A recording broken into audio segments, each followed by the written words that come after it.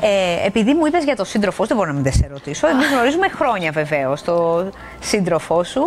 Ε, επειδή σε ρώτησα πριν για το κατά πόσο είσαι ευτυχισμένη στη δουλειά σου, θέλω να μου πεις για τα προσωπικά σου. Πόσο είσαι ευτυχισμένη, Γιατί γνωρίζουμε τη Μάρσια με τη σχέση που έχει και λέμε πάντα τι ωραία σχέση.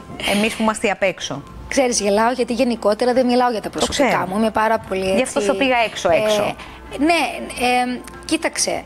Εννοείται ότι είναι τόσο σημαντικό να έχεις έναν άνθρωπο δίπλα σου που όχι μόνο να υπάρχει η χημεία, η αγάπη, ο σεβασμός, όλα αυτά που λένε. Πολύ ωραίο πράγμα να σε στηρίζει.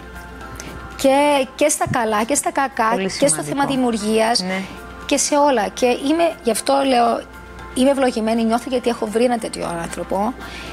Και έχουμε μια πραγματικά πολύ πολύ σωστή, υπέροχη ε, δεν ξέρω. Μάρσια, μου μεγάλο θέμα η συντροφικότητα. Και όταν πραγματικά βρίσκεις την εκτίμηση που μπορεί να σου έχει ο άλλος, ακόμα και στα μειονεκτήματα που μπορεί να έχεις, δηλαδή εκτιμώ το μειονέκτημά σου και θα προσπαθήσω να σε. όχι να σε αλλάξω, αλλά να το αποδεχτώ. Νομίζω ότι εκεί πέρα είναι η τέλεια συντροφικότητα που μπορείς να έχεις.